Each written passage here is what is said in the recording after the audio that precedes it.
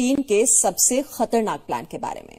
ये वो प्लान है जिसने चीन को नरेंद्र मोदी से सिर्फ़ 90 किलोमीटर की दूरी पर लाकर खड़ा कर दिया है।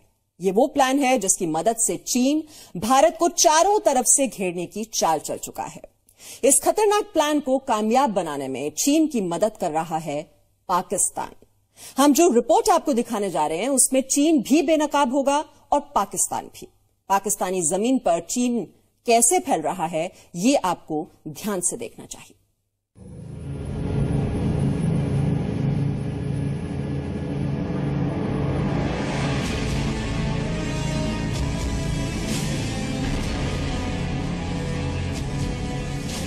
पीठ पीछे छुरा घोंपना, ये कोई चीन से सीखे। वर्ष उन्नीस सौ बासठ में जिस धोखे की शुरुआत हुई, बावन साल बाद भी भारत को चीन से कुछ और नहीं, धोखे और गद्दारी के तोहफे मिल रहे हैं। कभी घुसपैठ के नाम पर तो कभी पाकिस्तान के साथ मिलकर भारत को आँख दिखाने की कोशिश। ये चीन है जो ज़रूरत से ज़्यादा ही फैल रहा है। चीन ने पाक ऑक्युपाइड कश्मीर में सड़क और रेल मार्ग बनाकर पहले हिमालय में भारत के खिलाफ मोर्चा खोला। फिर चीन ने पाकिस्तान में ग्वादार बंदरगाह बनाकर अरब सागर में अपनी मौजूदगी पुख्ता की।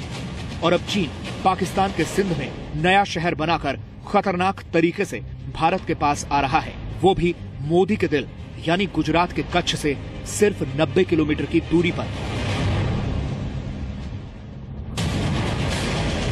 चीन और पाकिस्तान ने वर्ष 2012 में सिंध की थट्टा तहसील में एक नया शहर, जुल्फिकाराबाद बनाने के समझौते पर दस्तखत किए थे। तेरह लाख एकड़ के शहर को चीन की कंपनी बनाएगी। और बदले में ये चीन का एक्सक्लूसिव इकोनॉमिक जोन होगा। चीन ने इस प्रोजेक्ट की शुरुआत भी कर दी है। यहाँ तक तो सब ठीक है, लेकिन अब जो बात हम आपको बताने जा रहे हैं, वो परेशान करने वाली है।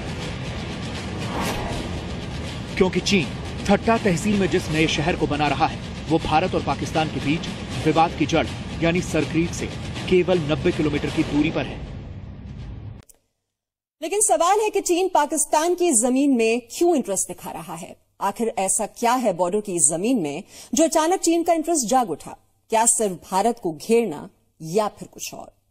यह समझने के लिए आप ये रिपोर्ट देखें। अब भारत की दूसरी मुसीबत के बारे में आपको बताते हैं। कच्छ के रण और क्रीक्स के दूसरी तरफ़ पाकिस्तान की सुरक्षा एजेंसियों की बढ़ती गतिविधियाँ भी चेतावनी दे रही हैं। हाफिज सईद भी इसी इलाके में देखा जाता है।